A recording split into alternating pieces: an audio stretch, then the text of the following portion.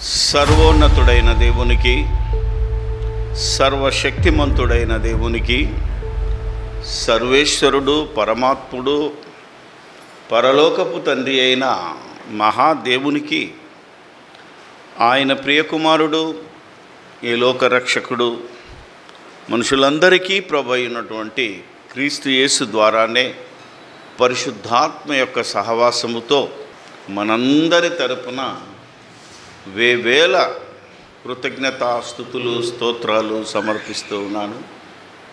దేవుని కుమారుడైన యేసుక్రీస్తును ప్రభు అని నమ్మి ఆయన అధికారానికి లోబడి ఆయన మరణ సమాధి పునరుత్నములో పాలు పొంది ఆయన సంఘములో రాజులైన యాజక సమూహంగా ఉండడానికి పిలువబడ్డ మీ అందరికీ ఆ ప్రభు యొక్క పరిశుద్ధమైన నామములోనే నా వందనాలు శుభములు శుభాభివందనాలు తెలియచేస్తున్నాను దేవుని యొక్క మహాజ్ఞానము దేవుని యొక్క హృదయ ఆలోచనలు దేవుని యొక్క సంకల్పము ఆయన ఇష్టము ఏది ఇంతవరకు మనిషి అర్థం చేసుకోలేకపోయాడు.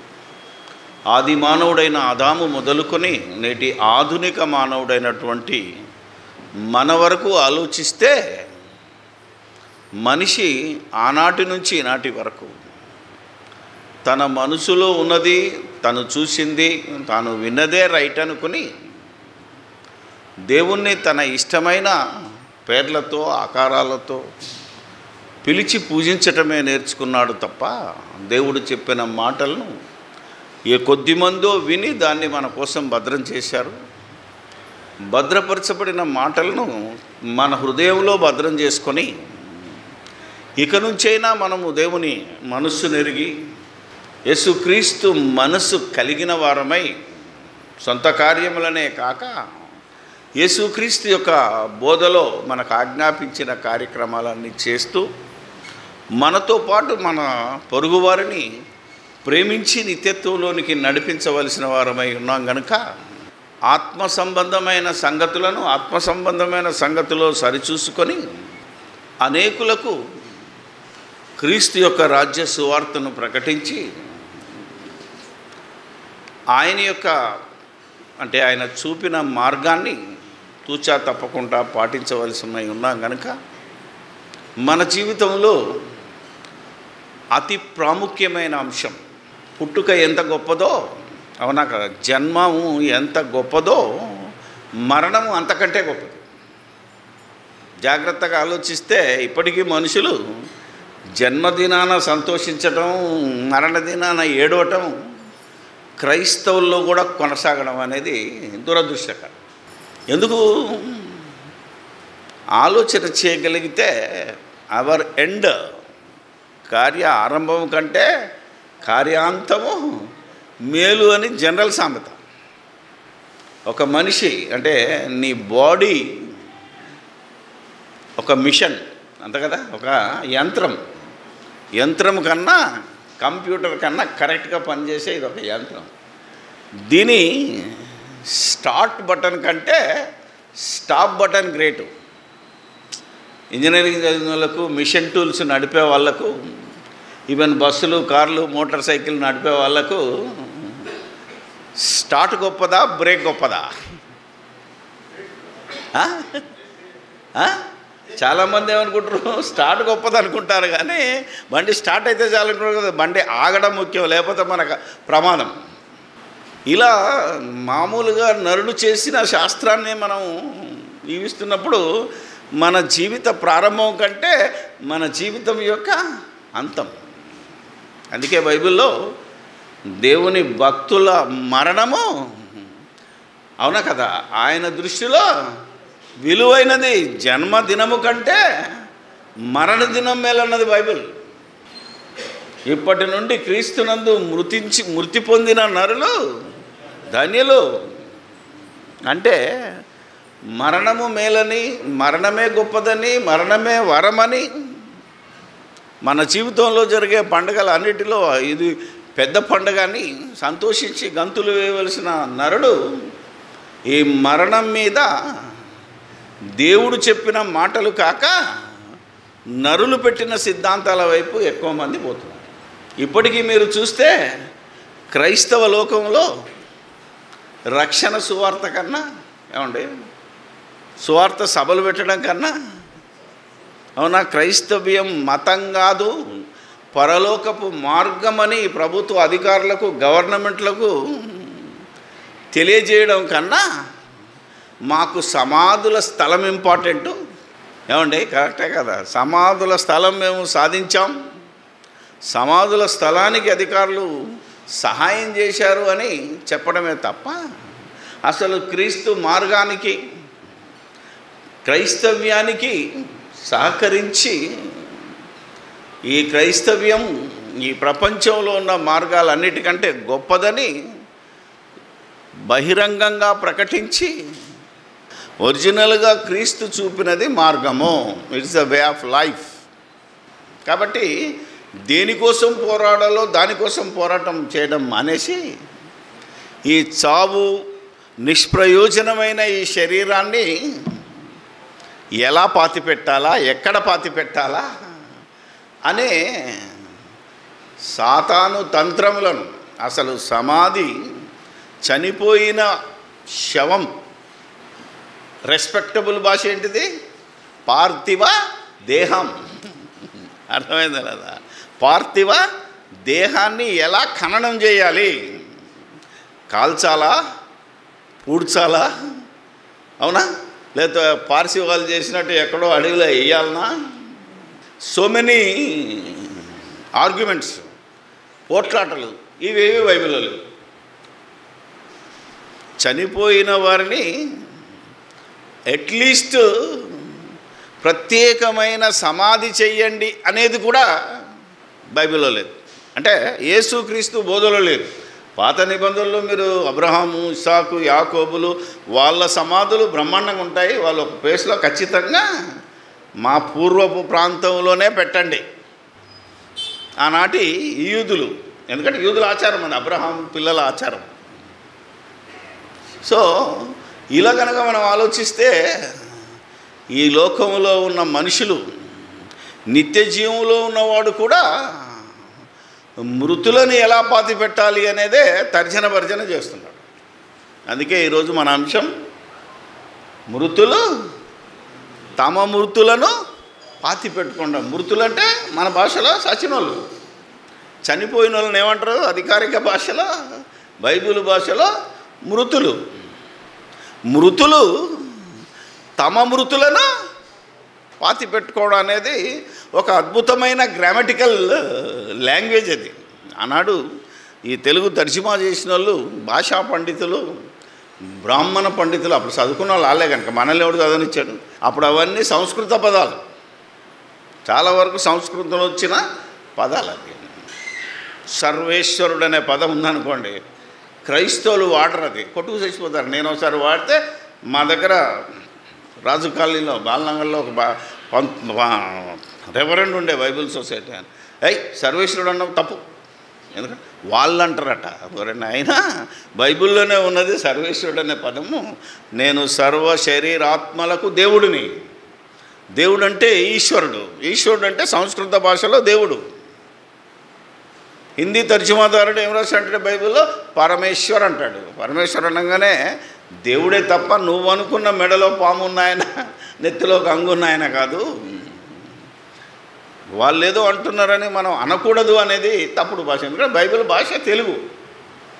సో ఇప్పుడు మనం మృతులు ఇప్పుడు యేసుక్రీస్తు దగ్గరకు వద్దాం. ఎందుకంటే ఇప్పటి నుంచి మనము చనిపోతే ఎక్కడ పాతి పెట్టాలి ఎలా పాతి పెట్టాలి అనే దాని మీద కొట్టుకు చచ్చిపోకుండా శవాన్ని వదిలేసి అంటే శరీరాన్ని వదిలేసి శరీరాన్ని శవం చేసి మనం ఎక్కడికి వెళ్ళాలనే దాని మీదే మనం కొట్టుకు సావాలి బతికినంతకాలం మనం ఇక్కడ ఉన్న వాళ్ళందరూ ఎంతమంది ఒప్పుకుంటారు చెప్పండి? అమ్మే ఖచ్చితంగా గోరి కట్టాలి దాని మీద సిలువ పెట్టాలి అనేది మన మైండ్లో పాతుకుపోయింది. సిలువ పెడితే లేస్తాడా? అసలు సమాధి బ్రహ్మాండంగా కట్టి దాంట్లోనే పెడితే లేస్తాడా అనే ఆలోచన ఎవరికీ రాకుండా చేసింది సైతాన్. అందుకే ఎన్ని వేలైనా పెట్టి ఈరోజు మనం హైదరాబాదులో ఉన్న క్రైస్తవ సమాధుల దొడ్లను చూస్తే స్థలాలు లేవు. అవునా కదా మీరు ఆలోచించే? ఎందుకు ఈ విధమైన వచ్చిందంటే పాత నిబంధనలో ఉన్నారు వాళ్ళు. ఈరోజు పాస్టర్లు కూడా ఎవరి బోధలో ఉన్నారంటే ప్రవక్తల బోధలో ఉన్నారు. అబ్రహాం గురించి గంట చెప్తాడు ఇసాకును గురించి గంట చెప్తాడు. అవునా కదా? సొలమోను గురించి గంట చెప్తాడు యేసుక్రీస్తుని గురించి ఐదు నిమిషాలు చెప్తాడు. అసలు రక్షకుడు మార్గము సత్యము మొత్తానికి ప్రపంచానికి ప్రభు అయినటువంటి యేసుక్రీస్తును గణపరచడం మానేసి వాళ్ళ బోధలోకి వెళ్ళిపోయారు కాబట్టి ఇన్ని తరాలుగా మన ముందున్న తరాల పెద్దలు ఈ సమాధి మీద దృష్టి. సొలమోన్ అంటాడు కదా ఒకడు నూరు మంది పిల్లలను కానీ తగిన రీతిలో సమాధి చేయబడకపోతే పడిపోయిన పిండము కన్నా అన్నాడు ఒక మాట. అంటే ఇప్పుడు సొలమోను బోధలోనే ఉన్నాడు తప్ప యేసుక్రీస్తు బోధలోనికి రావట్లేదు క్రైస్తవం. యేసుక్రీస్తు బోధలోనికి వద్దాం ఎందుకంటే ప్రవక్తల బోధలో ఉన్న కఠినమైన వాటిని యేసుక్రీస్తు వచ్చి మాడిఫై చేసి సులభతరం చేశాడు. అందుకనే యేసు ప్రభు దగ్గరికి ఒక యవనస్తుడు వచ్చాడు. లూకా రాసిన సువార్త తొమ్మిదవ అధ్యాయము యాభై ఏడు నుంచి చదుదాం వారు మార్గంలో వెళ్తుండగా ఆ, ఒకడు, ఉమ్, "నీవెక్కడికి వెళ్ళినను? ఉమ్, నీవెక్కడా అని ఆయనతో చెప్పాను.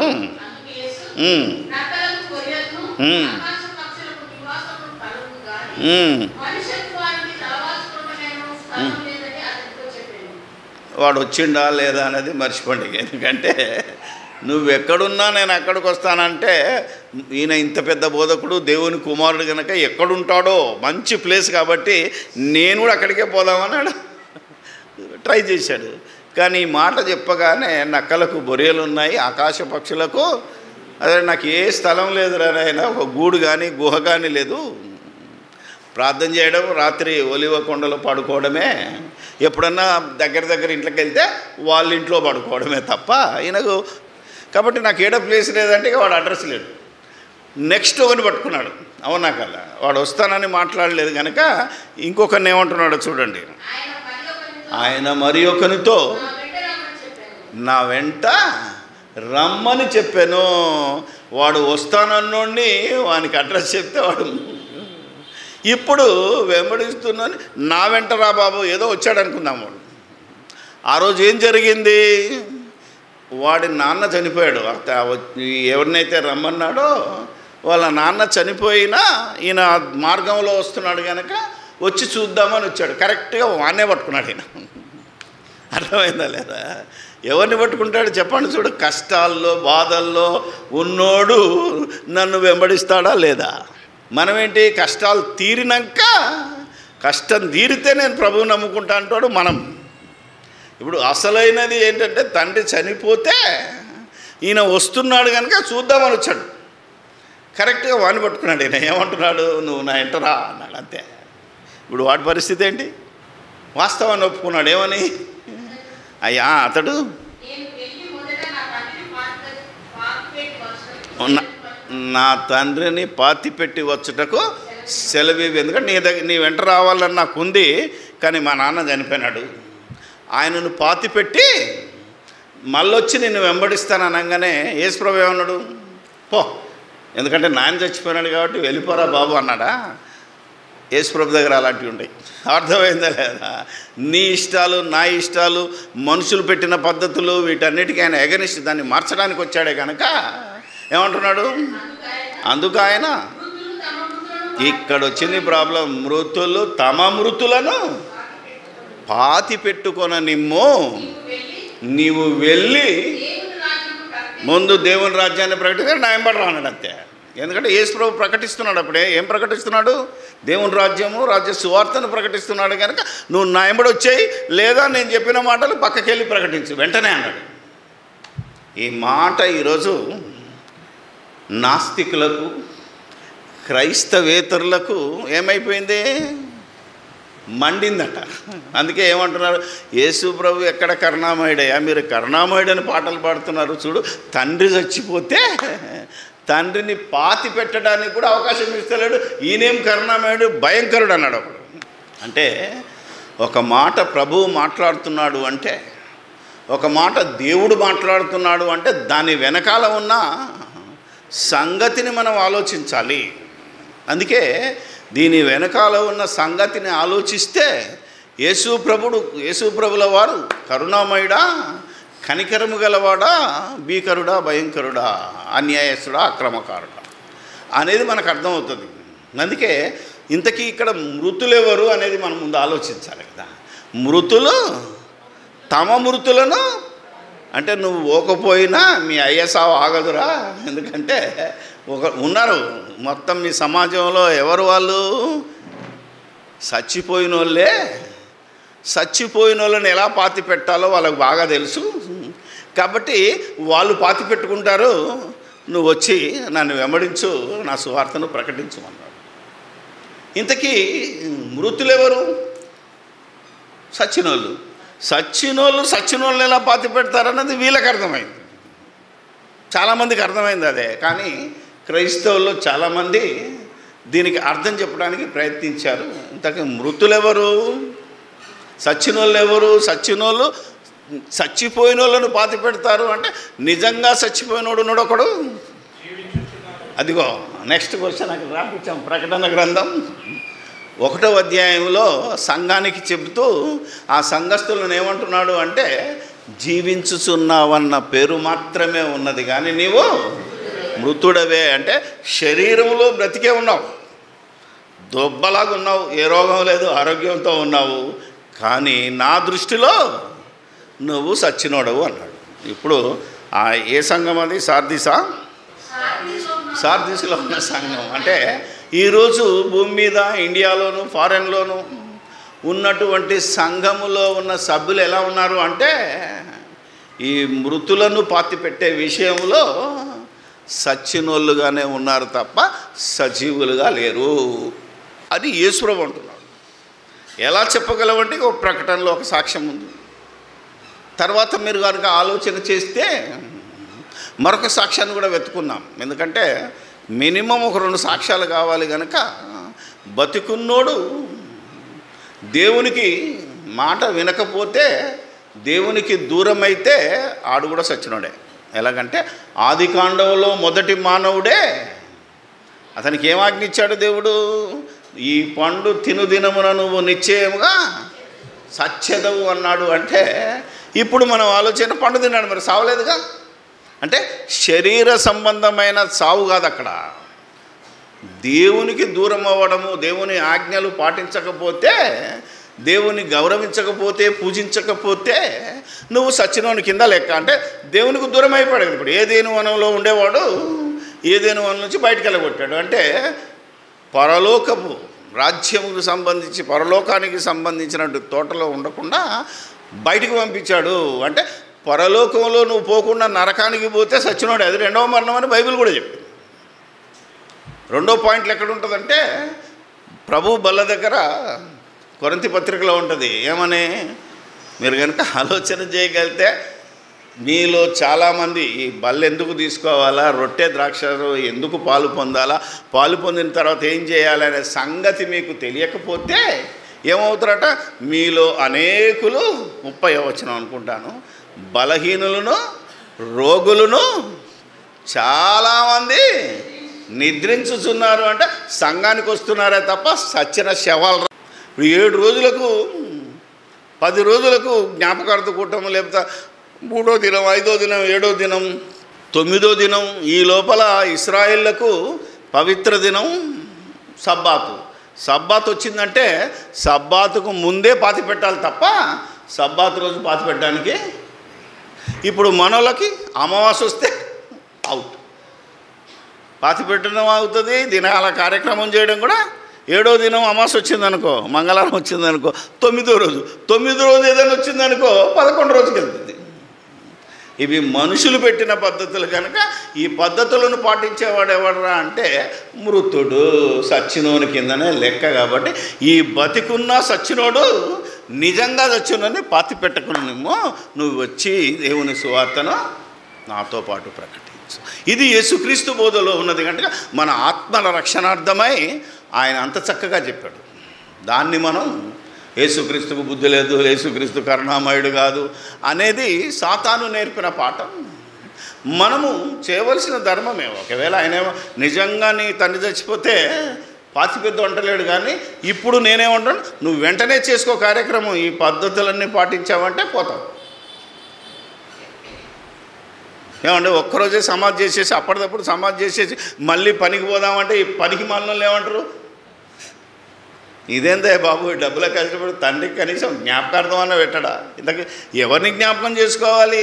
మీ అయ్యని జ్ఞాపకం చేసుకుంటే ఏడుపు వస్తుంది. ప్రభువుని జ్ఞాపకం చేసుకుంటే ఆశీర్వాదం వస్తుంది. ఎవరిని జ్ఞాపకం చేసుకుంటో చెప్పు. ఇలా అని మాట్లాడాను అనుకో. ఈడేం పాస్టర్రా బాబు అంటున్నారు. అవునా కదా మీరు ఆలోచన చేయాలా? అయ్యని జ్ఞాపకం చేసుకుంటే ఏడుపు వస్తుంది. యేసు ప్రభుని జ్ఞాపకం చేసుకుంటే పరలోకం దొరుకుతుంది. తెలుసా మీకు? నీతిమంతుని జ్ఞాపకం చేసుకుంటా ఆశీర్వాదకరం. ఆ నీతిమంతుడు యేసుక్రీస్తే కానీ మరెవడు కాదు. సో ఆ విధంలో నువ్వు ఆ రోజు కూడా యేసుక్రీస్తుని జ్ఞాపకం అంటే ఆయనను ప్రకటించు. ఆయన గొప్పతనాన్ని చాటి చెప్పు. ఆయన లోకానికి ఎందుకు వచ్చాడు? ఎందుకు మరణించాడు? ఎందుకు లేపబడ్డాడు? ఎందుకు నలభై రోజుల వరకు సంగతులు ఆజ్ఞాపించాడు? ధర్మశాస్త్రాన్ని అంతా మార్చివేశాడు. ఇవన్నీ ప్రతిరోజు చెప్పు సత్యం రోజు చెప్పు బతికిన రోజు చెప్పు పుట్టినరోజు చెప్పు ఏదన్నా చెప్పు.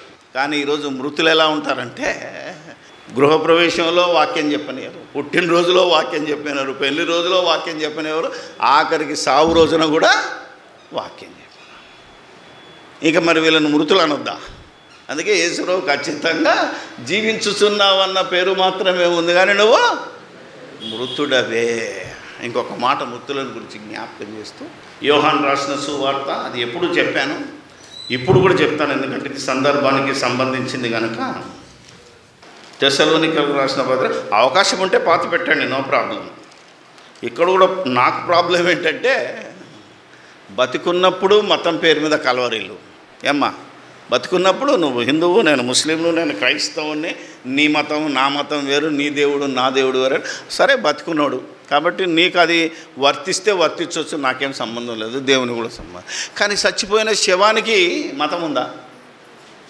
శవం ఏంటిది? క్రీస్తు. అది ఏమన్నాడు? క్రీస్తు ఏం చెప్పాడు? ఆత్మయే జీవింపజేయుచున్నది శరీరము బతుకున్న శరీరమే నిష్ప్రయోజనమైతే శవం మరీ నిష్ప్రయోజనం. అసలు ఎందుకో? పనికిరానిది అన్నాడు. ఈ పనికిరాని శవాన్ని పాతి పెట్టడానికి మనం ఇప్పుడు సిటీలో ఎంత ఉందో అన్న? సమ సమాధుల స్థలానికి ఒకడు ఇరవై వేలు తీసుకుంటున్నాడు ఒకడు పదిహేను వేలు తీసుకుంటున్నాడు సభ్యత్వం ఉంటే అవునా కదా? గోరి కట్టడానికి రకరకాలు. అందుకని ఇవన్నిటిని మనం కనుక ఆలోచన చేస్తే ఒక మాట ఉన్నది చూడండి. తెస్సలోనికలకు రాసిన మొదటి పత్రిక నాలుగవ అధ్యాయము. పదహారో వచనం. శబ్దముతోనూ తోను ప్రభు దిగివచ్చును. బా ఏమన్నాడండి? క్రీస్తు నందుండి మృతులైన వారు మొదట సమాధిలో నుండి లేస్తానని లేదు ఇడ క్రీస్తు నుండి మృతులైన వాడు ఎక్కడ పాతి పెట్టినా క్రైస్తవ తోటలో దాన్ని ఏమన్నారు? మొన్న ఒక హౌసింగ్ బోర్డులో చూసిన మంచి మాట ఉన్నది అది. ఫ్లైఓవర్ కింద ఉంటుంది. క్రైస్తవులు ఏదో పెరం పెట్టారు. పునరుత్న ఏదో ఉంటుంది. స్థలం వాళ్ళు పెట్టింది. వీళ్ళు ఏమంటారు? వైకుంఠ ధామం అని. అవునా కదా? రకరకాల పేర్లు ఉన్నాయి. నవ్వొచ్చింది నాకు. అబ్బా! ఇక్కడ నుంచి ఈడపాతి పెట్టినోడే లేతాడన్నమాట ఇక లేవడా? అనే అర్థం వచ్చింది నాకు అలా. భయంకరంగా. మరి కరోనాలో చాలామంది పాస్టర్లు చచ్చిపోయారు. మూట కట్టి ప్లాస్టిక్ సంచులు వేసి ఒక్కటే దగ్గర గొయ్యి తీసి తగలబెట్టారు. మరి ఇక్కడ పెట్టాలి కదా అక్కడ పెట్టాడు లేవడా? అంటే మనది ఎంత గుడ్డి నమ్మకమో. అందుకని కొత్త నిబంధనలో నువ్వు ఏడబెట్టినా లేస్తావు. హిందువుల సమాధులతో పెట్టినా లేస్తావు. అవసరమైతే నదిలో పారేస్తలేరు కొన్ని శవాలను. ఇప్పుడు యూపీలోకి వెళ్తే నదులలో శవాలు తేలుతాయి. వాళ్ళు కూడా లేస్తారు. నిన్ను సింహం మింగిందా? లేస్తావు. ఎందుకంటే రేపు సింహం చచ్చిపోద్ది సింహం కూడా మట్టిలో కలిసిపోద్ది అప్పుడు నీ బాడీ కూడా మట్టిలో కలిసిపోతుంది. ఒకవేళ నిన్ను ఎలక్ట్రిక్ ఛాంబర్లో పెట్టి కాల్చి బూడిదిచ్చారనుకో ఆ బూడిదే కదా ఆ మట్టిలో కలిసేది. అవునా? సులభం ఏమన్నాడు? మన్నైనది తిరిగి ఎట్లయినా సరే మంటికి చేరాలా తప్ప పెట్టెబెట్టి అవునా కదా ఉప్పు పోసి. మన ఊర్లో ఉప్పు పోయడానికి ఒక తర్జన భర్జన పది నిమిషాలు ఎండేమో కొడుతుంది ఎండాకాలం. నేనన్నా అరే ఉప్పు ఎందుకు రాబాయి తీసి అవతల వాడే అన్నాను నేను. ఎందుకు? ఉప్పేస్తే పెట్టె పెట్టావు పెట్టెలో ఉప్పేసావు అంటే ఈ బాడీ తొందరగా మట్టిలో కలవదు. కానీ బాడీ తొందరగా మట్టిలో కలవాలంటే యాజ్ ఇట్ ఈజ్ కూడా వేసేయాలంతే ఎందుకంటే మన్నైనది తిరిగి మంటికి చేరాలంటే వెంటనే ఎందుకంటే వాళ్ళు ఏం చేస్తారు? పాడగట్టుకొని ఉత్త శవాన్నే బొందలేస్తారు. తెలుసా మీకు? అది తొందరగా మట్టి అయిపోతుంది మనకేమో పెట్టె కావాలి కదా. అది పెట్టె ఎంతమందిది నాలుగు వేలదా ఆరు వేలదా? ఎంత మంచి పెట్టె పెడితే అంత ఘనత. ఈరోజు కొందరు సంఘాలు వచ్చాయి మీరు చనిపోతే మీ ఇంటికి పెట్టే ఉచితంగా ఇస్తామని మిమ్మల్ని సభ్యులుగా చేసుకొని వేలు కొట్టేస్తున్నారు. ఇంతకు పెట్టే అవసరమా? వీడు పెట్టె కోసమే ఆ సంఘానికి వెళ్తున్నాడు అంటే పెట్టె అవసరం. పెట్టెలో పెట్టిన వాడు తొందరగా ఖరాబ్ కాదు. తొందరగా మట్టిలో కలవాలి కదా. మంటిని అయినది తిరిగి మంటికి చేరాలి. ఈ సిస్టమ్ లేదు కదా. ఒకప్పుడు యూ ఫరో కాలంలో ఇస్రాయిల్ పెట్టుకున్నారు. మమ్మీలుగా సుగంధ ద్రవ్యాలు పూసి ఎందుకంటే అవి లేస్తామని వాళ్ళకి నమ్మకం. కానీ ఇప్పుడు పాతి పెట్టినోడు మన్నైపోవాలి. ఆ మన్నైనది తిరిగి మంటికి చేరి ఆత్మదైవుని సన్నిధిలోనికి వెళ్ళి యేసుక్రీస్తు వచ్చిన రోజున ఈ మన్నైనది మహిమ శరీరంతో లేదు అది ఎక్కడ పెట్టినా క్రీస్తునందున్న వారు మృతులైతారు కాబట్టి క్రైస్తవ సమాధుల దొడ్లోనే పెడితేనే యేసు ప్రభు వచ్చినప్పుడు లేస్తామనే మైండ్ సెట్లో నుంచి ఈరోజు క్రైస్తవులు మారు మనసు పొందాలి. ఎందుకంటే వాళ్ళ మనసు అలా ఫిక్స్ అయిపోయింది. మనం మారిపోవాలి ఇప్పుడు. ఎందుకంటే ఇది వాక్యానుసారం. నేనేదో నా సిద్ధాంతాన్ని ప్రవేశపెట్టట్లేదు ఇది. వాక్యం చెప్పిందే చెప్తున్నాను. మనకి ఇంకా మన మైండ్ సెట్లో ఇక్కడ ఉన్న వాళ్ళకు కూడా పోలేదు. ఉందా లేదా? ఎక్కడ పెట్టినా యేసుప్రభులో ఉంటేనే లేస్తాడు తప్ప ఎలా పెట్టినా యేసుప్రభులు ఉన్నోడే లేస్తాడు తప్ప వేలుగు పెట్టి సమాధుల స్థలం కొనుక్కొని ఇది భక్తి అనుకోవడం మృతులది అని అన్నాడు. సో ఈ మృతులు ఎవరో ఎలా బ్రతికారో? యోహాన్ సువార్త ఐదవ అధ్యాయము ఇరవై నాలుగవ వచనం. నా మాట విని నన్ను పంపినవని ఆ, ఆశ్రమించువాడు నిత్య జీవము గలవాడు వాడు తీర్పులోనికి రాక జీవములోనికి దాటి ఉన్నాడని మీతో నిశ్చయముగా చెప్తున్నాడు. యేసు ప్రభు మాట విని ఆయన దేవుని కుమారుడని నమ్మి లోక రక్షకుడు నమ్మి మన కోసం మరణించి సమాధి చేయబడి తిరిగి లేపబడ్డాడనే మాట విని మన రక్షణ సువార్తను విని బాప్తిసం తీసుకున్నోడు. మరణములో నుండి జీవములోనికి అప్పుడే ఇక మన మీద రెండవ మరణం అధికారం ఉంది అందుకే బాప్తిసం తీసుకున్న వాళ్ళు చనిపోతే మనం ఏమని వాడాలని చెప్పాను? ఏమని వాడాలి? నిద్రించిన మన నాన్న బాప్తిసం తీసుకొని చనిపోతే నువ్వేం పలకాల ఇతరులతో? మా నాన్న నిద్రించాడని చెప్పాలి తప్ప మా నాన్న చనిపోయాడని చెప్ప. ఇది కూడా అక్రమమే. ఇది కూడా వ్యతిరేకమే. అందుకనే ఇప్పుడు మనం ఆలోచన చేస్తే ఇలా క్రీస్తునందు ముద్రులైన వారు ధన్యులు అన్నాడు. ఇప్పుడు కింద ఒక మంచి మాట ఉందండి. ఇరవై ఎనిమిదో వచనం. దీనికి ఆశ్చర్యపడకుడి ఒక కాలము వచ్చుచున్నది. సమాధులలో ఉన్న వారందరూ ఆయన శబ్దము విని పునరుత్నమునకును ఇది ఎప్పటి మాట అనేదే వీళ్ళకి అర్థం కాని మాట. ఈరోజు క్రైస్తవులు ఏమనుకుంటున్నారంటే యేసు ప్రభు వచ్చిన రోజు సమాధులలో ఉన్నవారు లేస్తారు గనుక ఈ సమాధులు అనేది ముఖ్యమని వీళ్ళ మైండ్ సెట్కి వెళ్ళిపోయింది. కానీ యేసు ప్రభు బ్రతికున్న కాలంలో ఎవరైతే ఇస్రాయేలీలు ఉన్నారో వాళ్ళకే సమాధి ఇంపార్టెంట్. అందుకే వాళ్ళకు ప్రవచనం ఏంటంటే మృతులైన నీ వారు బ్రతుకుదురు చనిపోయిన వారి సమాధులు తెరవబడతాయని వాళ్ళకు రాయబడిందే తప్ప ఇది ఇస్రాయిల్లకు చేసిన బోధ. మనకు కావలసింది అపోస్తళ్ళ బోధ. క్రీస్తు బ్రతుకున్నప్పుడు ఇటు ఇస్రాయిల్లకు ఇటు అన్యులకు బోధ చేసి అడ్జస్ట్మెంట్ అంటే ఏమంటారు? కోయిన్స్ అండ్ మనం అందరినీ కలిపే విధంగా చేసిన బోధ అది. కానీ అపోస్తల ద్వారా చేసిన బోధ ఖచ్చితమైన బోధ. అక్కడ సమాధికి వాల్యూ లేదు. ఇప్పటి వరకు ఉందంటే అందుకే ఏమన్నాడు? సమాధులలో ఉన్నవారు లేస్తారు అంటే అప్పటి వరకు యేసు ప్రభు శబ్దం విన్నోడు సమాధిలో ఉన్నవాడు అప్పుడు వినడు ఇప్పుడు వినడు. ఎందుకు? చచ్చిపోయినాడు ఎక్కడ ఉంటారు సమాధిలో ఉంటారా చెప్పండి చూద్దాం? మన నమ్మకం ఏంటంటే అక్కడే ఉన్నాడని ఏం చేస్తున్నాం అంటే పాలు పోస్తున్నాం. అవునా కదా? దినాల రోజు మందు అవునా కదా? మటను. వాడు ఏమేమి తినదో కోరి ఎక్కడ పెడతారట. పెడతారా లేదా? ఏమండి యాకబ్ గారు? పెడుతున్నారు అదంటే ఈడు మృతుడు అన్నమాట ఆడు మృతుడు వెళ్ళిపోయి కన్ను మూసిన రోజునే వాడు అబ్రాహం సన్నిధిలోకి వెళ్ళాడా? లేకపోతే నిత్యాగ్ని దండానికి అయిపోయింది తీర్పు. మరి ఏడో దినానో తొమ్మిదో దినానో తీసుకెళ్ళి నువ్వు అక్కడ ప్రియమైనవి పెట్టావంటే నువ్వు మూర్ఖుడవు. నువ్వు మృతుడు కాబట్టి అలాంటి మృతులు చచ్చిపోయిన వాళ్ళు ఎక్కడ ఉంటారంటే సమాధుల్లో ఉంటారు. అంటే జీవించుచున్న వారందరూ మృతులే కనుక ఆ మృతులు ఎలా ఉన్నారు ఎక్కడున్నారంటే సమాధుల్లో ఉన్నారని యేసుప్రభు చెప్తున్నాడు. అంతే. నిజంగా సమాధుల్లో ఉన్న వాళ్ళ కారాలు చనిపోయి సమాధుల్లో ఉన్న వాళ్ళకు వినబడుతుంది కదా. ఏమని? మృతులు దేవుని కుమారుని శబ్దము? వినబడు సమయం వచ్చిందంటే ఆ రోజే యేసుప్రభు మాట్లాడుతున్నారు ఎవరితో మాట్లాడుతున్నారు ఆనాటి మృతులతో సమాధుల్లో ఉన్న వారి సమానం కనుక ప్రయాసపడి భారము మోయిచున్న సమస్త జనులారా ఈ మాట విన్నోడు సచ్చినోడు బతకాలి. అంటే యేసుప్రభు మాట విని వచ్చి బాప్తిసం తీసుకున్నాడు వాడు బ్రతికాడు మృతుడు లేకపోతే పర్మనెంట్గా చచ్చినాడు ఇది మీనింగ్ అక్కడ. అక్కడ యేసుప్రభు భోజనం ఇది రెండవ రాకల్లో జరిగేది కాదు మొదటి రాకల్లో జరిగింది ఆల్రెడీ ఎందుకంటే ఎలా జరిగింది?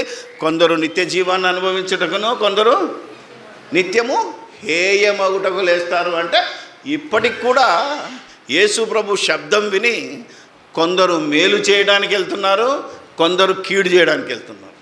బాప్తీసం తీసుకున్నోడే ఇప్పుడు పాస్టర్లే కొందరు మేలు చేస్తున్నారు రక్షణ సువార్త. అంటే నిన్ను వల్ల నీ పొరుగువాన్ని ప్రేమించి నీ పాప క్షమాపణ కోసమే మారు మనసు పొందితే నీకు పరలోకం ఉందిరా నాయన అని చెప్పేవాడు మేలు చేసినవాడు.